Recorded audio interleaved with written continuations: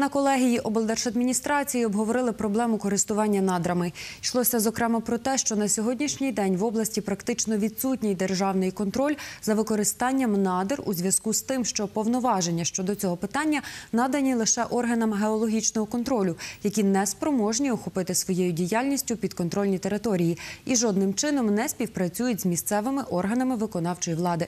Це в свою чергу ускладнює боротьбу з незаконним видобутком корисних копалин.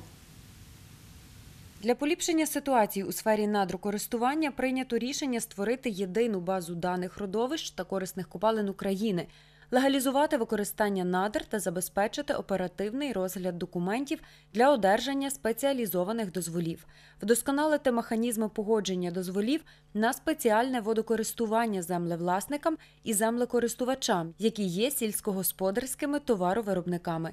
Нагадаю, в природно-ресурсному потенціалі Тернопільської області мінеральні ресурси стоять на п'ятому місці після земельних, водних, лісових та природно-рекреаційних.